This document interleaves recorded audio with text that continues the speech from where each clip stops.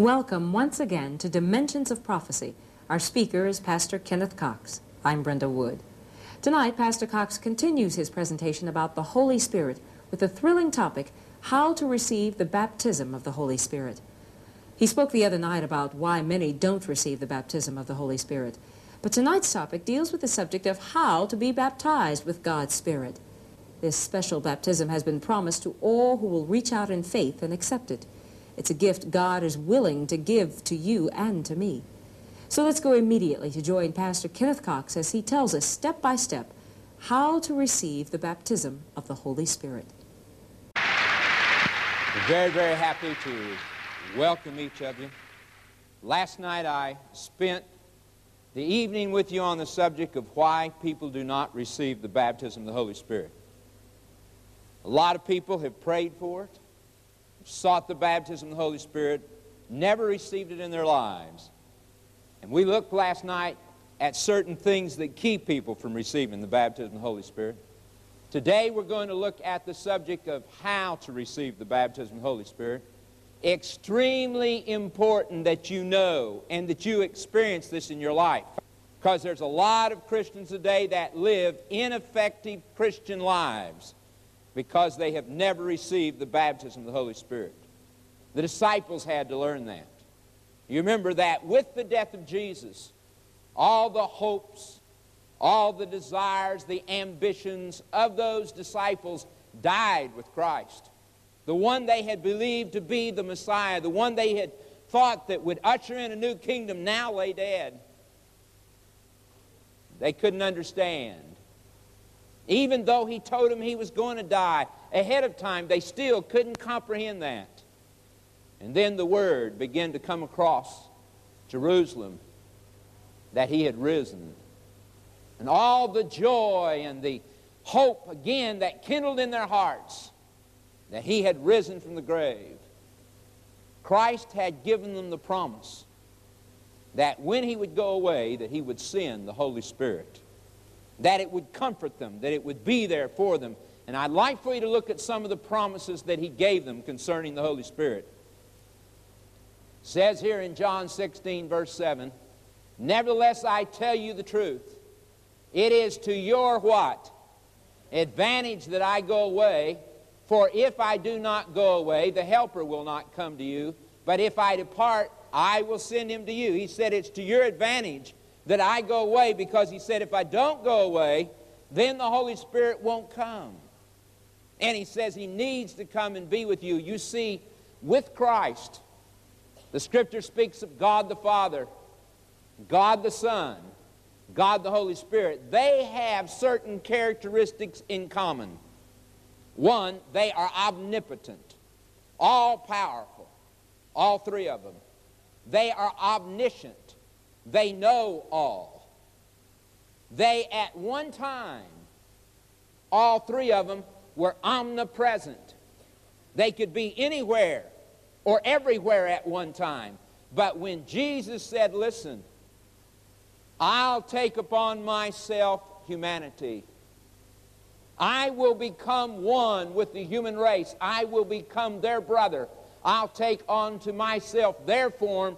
He gave up his ability to be omnipresent, and he decided that he would take human form for eternity. Do you understand that? You know what that means? Have you ever looked at the sacrifice of Christ? It speaks of God the Father, God the Son, God the Holy Spirit. We refer to that as the Godhead. The next order of life below that is what? Angels. And then the scripture says that man was created a little lower than the angels. So there's God, angels, man. So when Jesus said, Listen, I'll become a human being, I'll take upon myself his form, he didn't take one step down, he took two steps down. He became a human being. Now, if you and I were going to make a similar type sacrifice, we'd have to take two steps down. The next order of life below us is what? Animals. Dogs, cats, horses, cows. That's one step. He didn't take one step, he took two. The next order of life would be insects. Are you willing? You willing to take on the form of a grasshopper? Oh, I'm not talking for a little while. I'm talking about for eternity. You willing to take on that form, die for them, and bear that form for eternity? That's the kind of sacrifice that Jesus made. And so he's telling these disciples, it's good. It's to your advantage that I go away because when I go away, the Holy Spirit can come and he can be with every one of you, any place, any time. He can be right by your side. Gave that promise. He also said, However, when He, the Spirit of truth, has come, He will guide you into all truth, for He will not speak on His own authority, but whatever He hears, He will speak, and He will tell you things to come. In other words, it's the Holy Spirit that prompts you, that guides you, that leads you into the truth of God's Word. I've got to be willing to open up my heart, study it. And as I do, it says the Holy Spirit will lead me into all truth. It also says, and I will pray the Father, and he will give you another helper that he may abide with you what? Forever. Any place I go, any time, the Holy Spirit can be with me, guiding, directing, leading my life. One other text here says, even the Spirit of truth, whom the world cannot receive, because it neither sees him nor knows him, but you know him, for he dwells with you and will be what? In you. So the Holy Spirit promises to go with you. It doesn't make any difference where you are. You can be in prison and have the presence of the Holy Spirit. That's marvelous. You never have to be lonesome the Holy Spirit can always be with you. Right there to comfort, to guide, direct. I'm so thankful. You know, the scripture says that the angels have keys to every prison on earth. There's not a prison that the angels can't get into. There's not a prison the Holy Spirit can't get into. Be there. Guide us, direct us, lead us. This is the work of the Holy Spirit. That's what it was given for. Now, what we want to look at is we want to find out what the Holy Spirit does for us. It says that He does certain things. It helps us testify of Jesus Christ. It says, But when He, the Helper, comes, whom I shall send to you from the Father, the Spirit of truth, who proceeds from the Father, He will what? Testify of me. The Holy Spirit will always lift up Jesus Christ. Always. The Holy Spirit will always exalt the Lord Jesus Christ. It will never exalt the man. Anytime you see it exalting the man, there's something wrong. It will exalt Jesus Christ. I've been here preaching to you now for three weeks. Learn to love all of you. But I want to tell you something. When a Western Union messenger boy comes to your house with a message, let me ask you, what are you the most interested in? Western Union boy or the message? The message. That ha- that's all I am is a Western Union boy, nothing more. That's all. It's the message that counts. And it says that we are to uplift, and the Holy Spirit will lift up Jesus Christ always will testify of him. Secondly, we also found in our study that it will give to us the fruits of the Spirit. That's the work of the Holy Spirit, to give us the fruits of the Spirit. You remember them, don't you? Fruits of the Spirit love, joy, peace, long suffering, gentleness, goodness, faith, meekness, temperance. These gifts, by, their, by the way, there are nine gifts of the Spirit and there's nine fruits of the Spirit. Okay, it says that He gives to us peace. Peace I leave with you.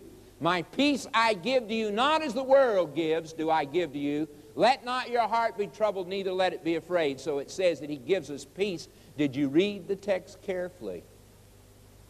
Did you notice that there's two types of peace there? Read it carefully, folks.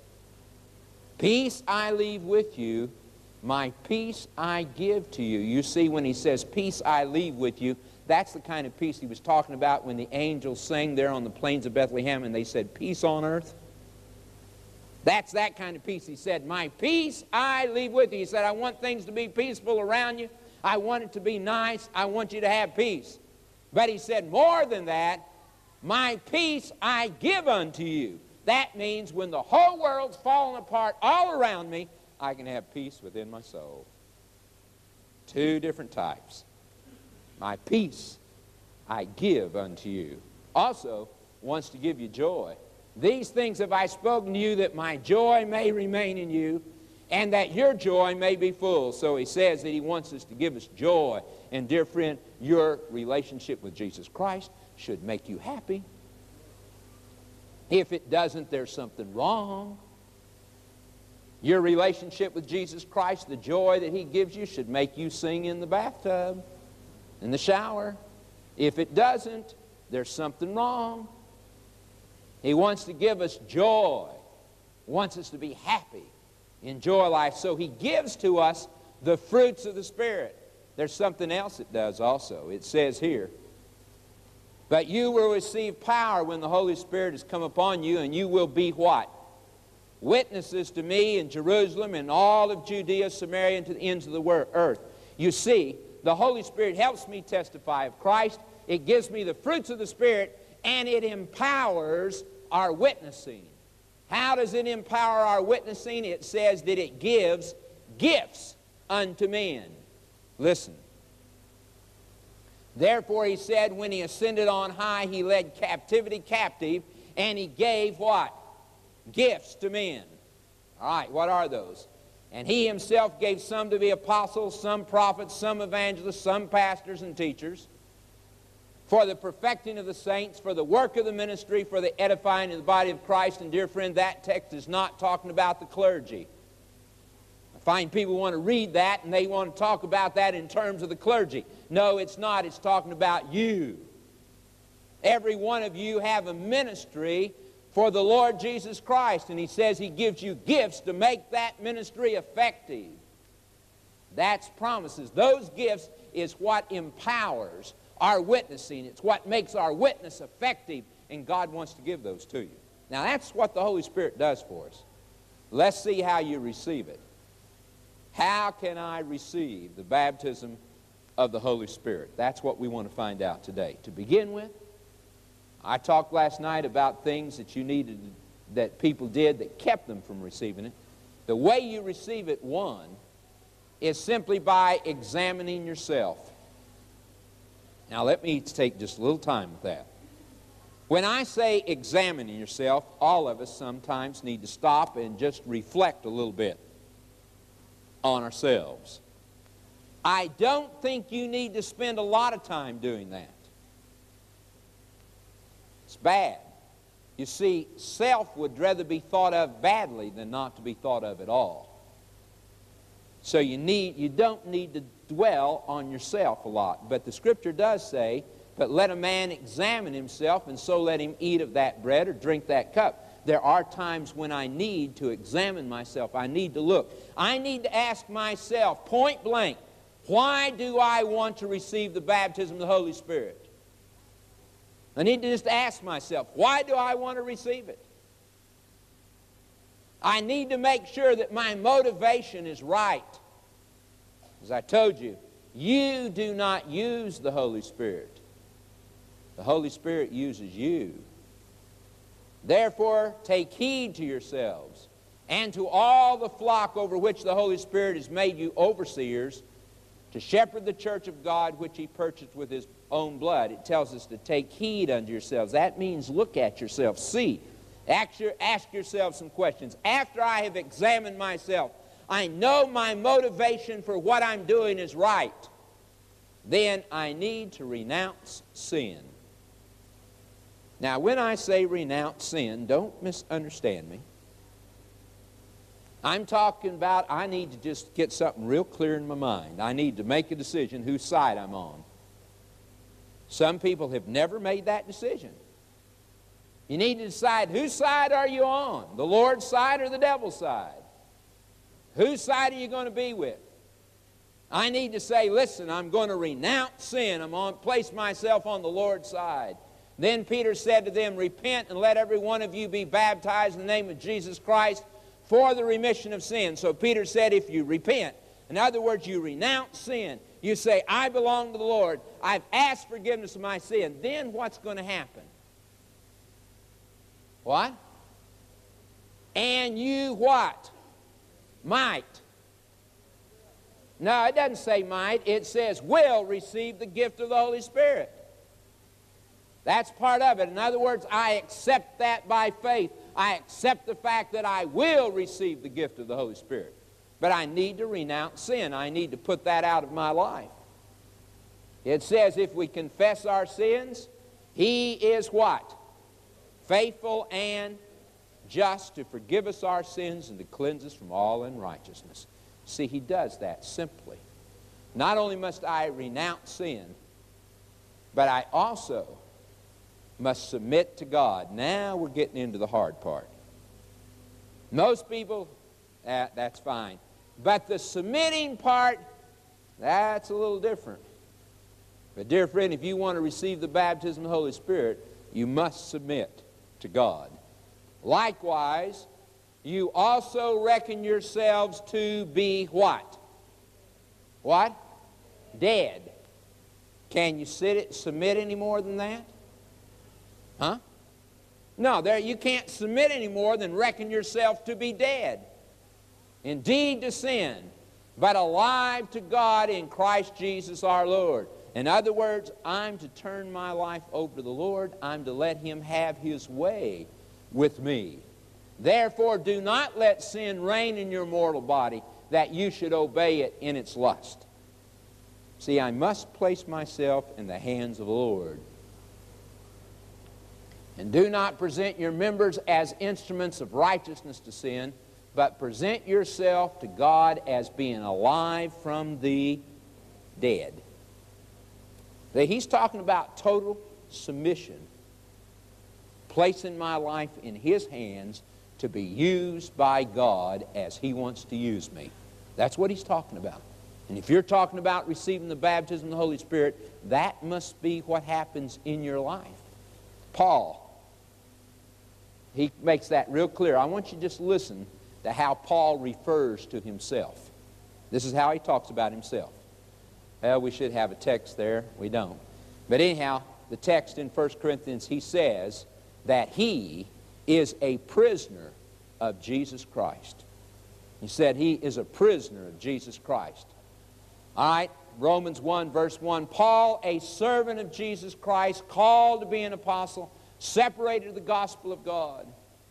You see, he said, I am a prisoner. I am a servant. Jesus Christ. This is what he was. Total submission. This is what the scripture's talking about. Not only must I submit to God, but I want to share with you now, as far as I'm concerned, the clearest instruction in the scripture as to how you receive the baptism of the Holy Spirit. Strange text, but very, very true. Do not be drunk with wine, in which is dissipation, but be filled with the Spirit. That's a strange analogy, isn't it? To say, don't be drunk with wine, but be filled with the Holy Spirit. What similarity is there between being drunk with wine and being filled with the Holy Spirit? Why would Paul use such an illustration? Say, don't be drunk with wine, but be filled with the Holy Spirit. Well, when you sit down at the table and you begin to drink wine, as you drink wine, the more you drink, what becomes, what starts controlling you more? The wine. The more wine you drink, the more the wine controls. It's exactly what he's saying. He said, Don't be drunk with wine, but let the Holy Spirit control your life. That's why he's using that comparison. And he says, when the Holy Spirit controls your life, certain things begin to happen. Listen to them. He says, speaking to one another in psalms and hymns and spiritual songs, singing and making melody in your heart to the Lord. He said that when Holy Spirit comes in your life, what's going to happen to you? You're going to what? Sing songs. Have a melody in your heart. That's, that's the joy that comes. That will take place. Giving thanks always for all things to God the Father in the name of the Lord Jesus Christ. So it says that if we have the Holy Spirit in our lives, we're going to sing songs, we're going to be happy, we're going to have joy, we're going to give thanks. Now, I'm going to put two texts up there side by side. When I put those two texts up there, I want you to see the similarity between them. He says that's what happens when you're filled with the Holy Spirit. Okay? Let's see what he says. Do not be drunk with wine, in which is dissipation, but be filled with the Spirit. All right, now follow carefully.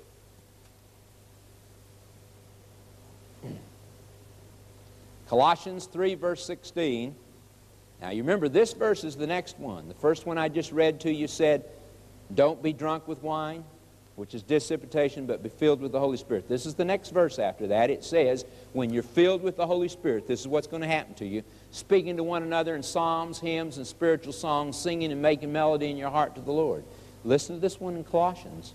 And it says, let the word of Christ dwell in you. Okay, that's this, right? Huh? That's the scripture. It says, let the word of God dwell in you richly when the Word of God dwells in you richly, let's see what's going to happen. Teaching and admonishing one another in psalms, hymns, spiritual songs, singing with grace in your hearts to the Lord. You see any comparison? Similarity? In fact, it says, when the Word of God dwells in you richly, the same thing that the baptism of the Holy Spirit over here happens here. It continues on. The next verse in, Ephesians says, verse 20, giving thanks always for all things to God the Father in the name of the Lord Jesus Christ. The next verse here in Colossians, verse 17, says, Whatever you do in word or deed, do all in the name of the Lord Jesus, giving thanks to God the Father through him.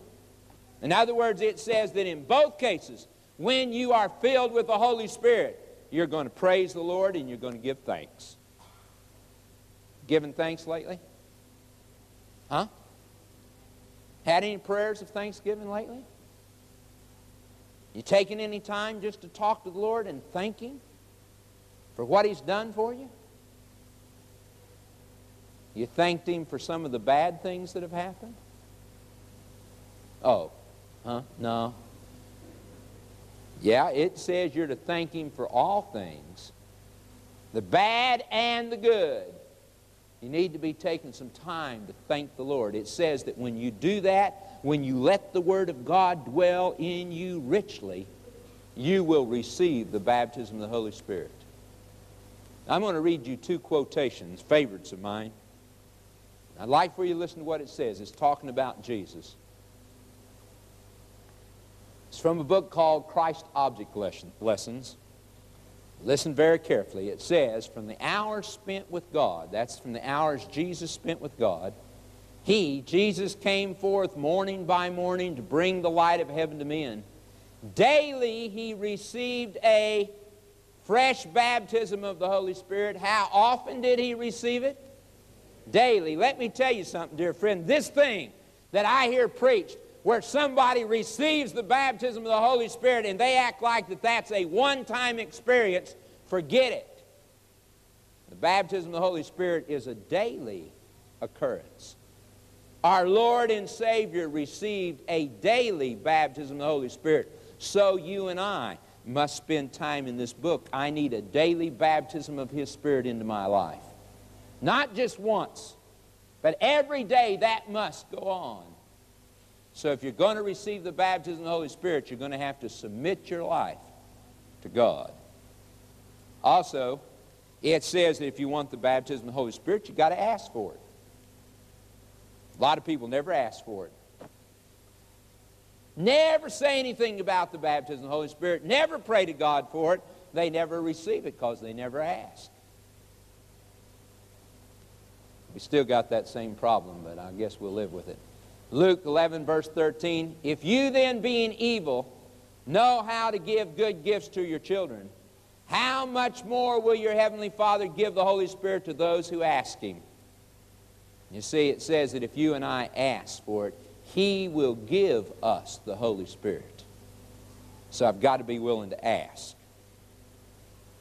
Now, maybe I should tell you that the asking has something to do with the attitude. You understand what I'm saying? Asking has a lot to do with the attitude. A lot of people don't understand that. If you're using God as a Santa Claus, I doubt very seriously whether you're going to get very much.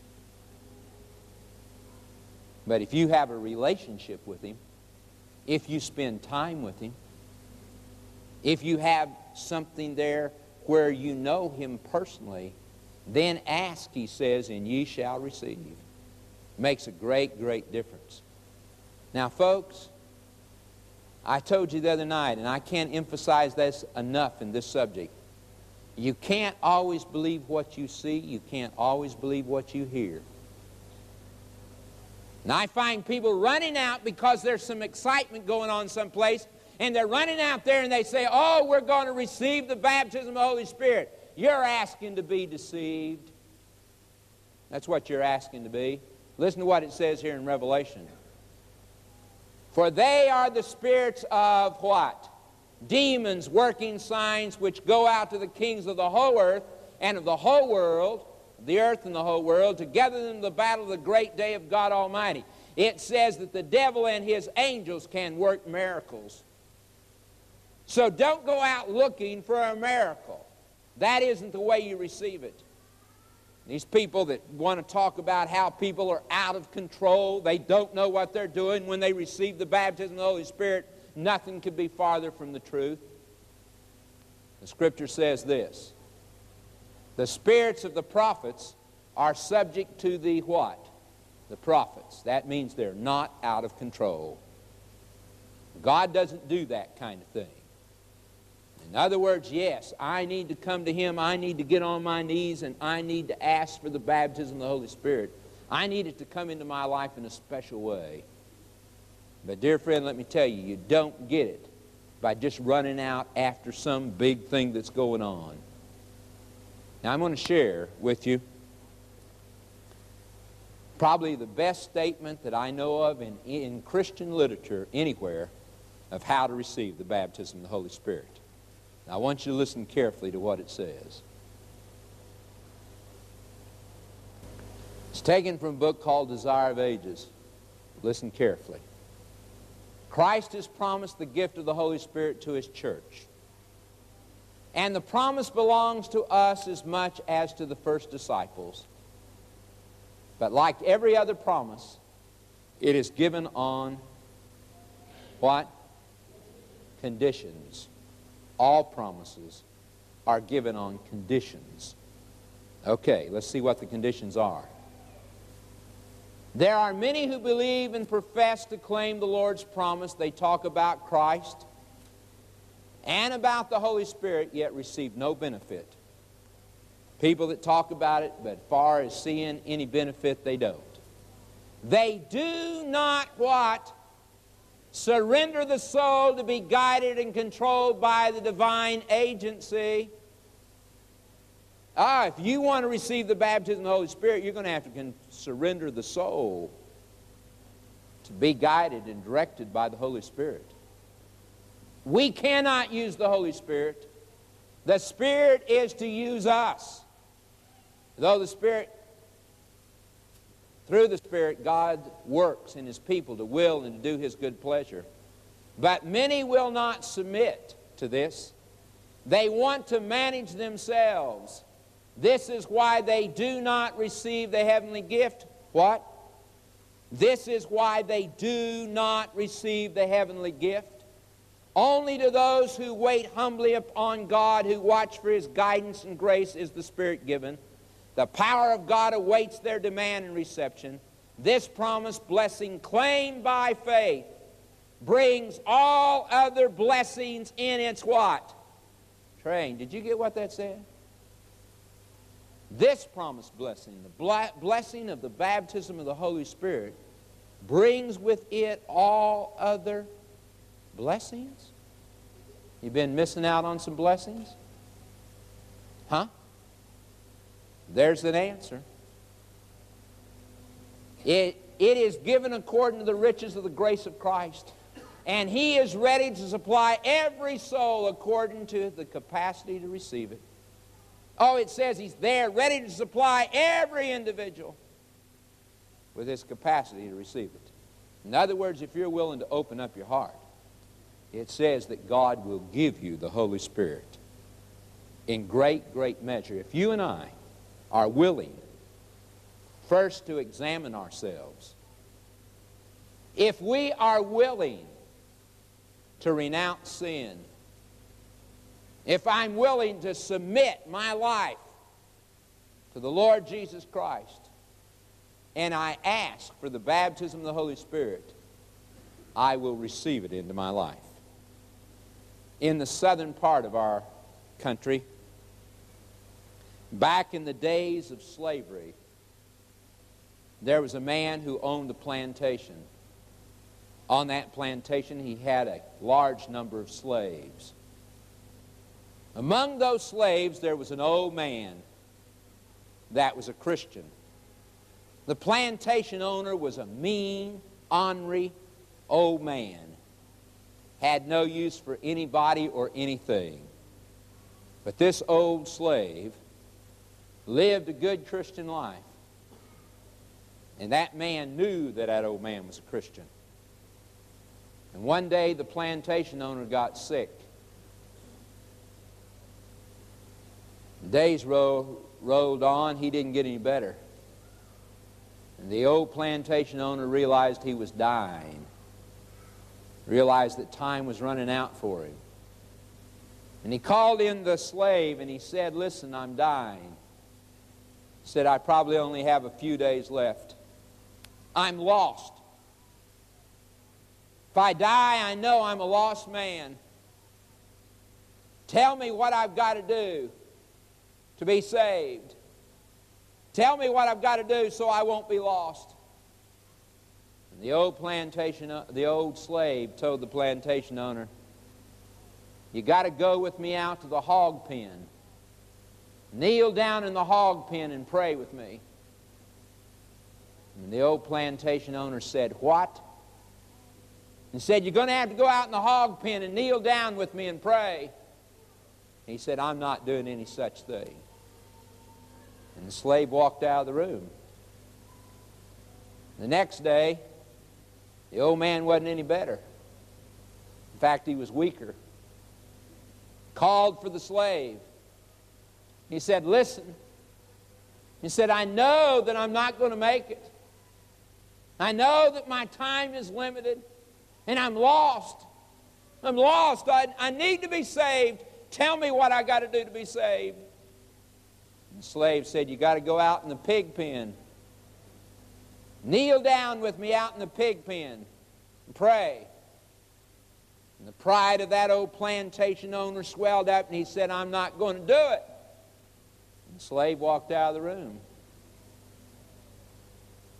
Third day, plantation owner called him in. He said, Listen, I'm weaker. He said, It's only a matter, a short matter of time. And he said, I'm lost.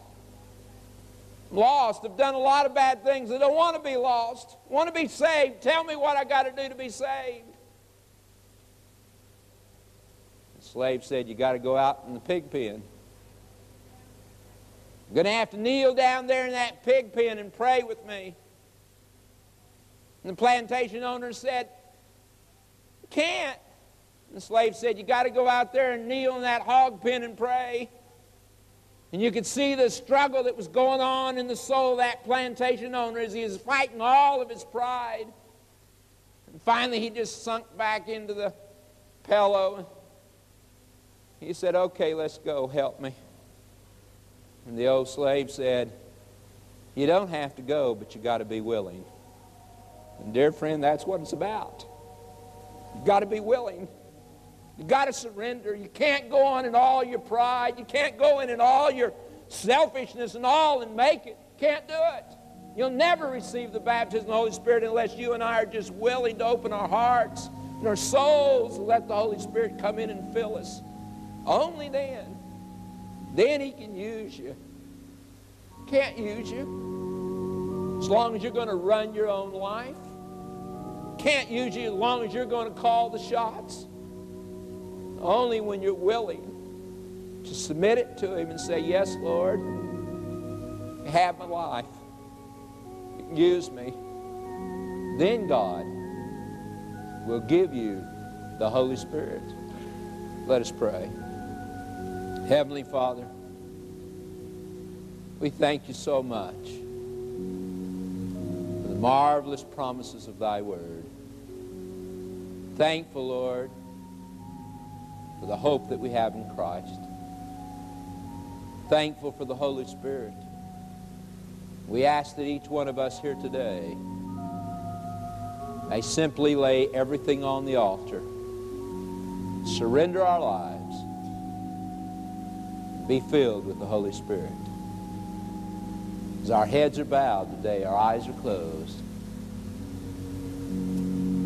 I'm going to ask for those here today who haven't accepted Jesus Christ that you haven't given your heart to the Lord Jesus Christ, I'm going to ask you today to give your heart to the Lord. Those of you in the fellowship room, I'm going to ask you, surrender your life to Jesus Christ. Accept Jesus as your personal Savior. I'm going to ask you, accept Christ just to get up from wherever you're seated and come. If you're in the fellowship room, I'm going to ask you just to go to the front there. There's some of you here that are struggling you're struggling in the decision to be baptized. I'm going to ask you today to make that decision. Say, yes, I'm going to follow my Lord. I'm going to be baptized. There's some of you that need to take a stand. You need to become part of God's people. I'm going to ask you to take that stand. Also, I'm going to ask all those that are being baptized today, I'm going to ask you also to get up and come right up to the front here. If you have accepted Jesus Christ, you have been baptized by immersion, but you'd like to become part of the church, I'm going to ask you also to get up and to come. Simply as we pray, those people that I've mentioned, if you're here in this room, come. If you're in the fellowship hall, I want you to go right there to the front. They'll meet you there also. Let's just bow our heads and pray, and as we pray, if you'll step out of your seat and come at this time.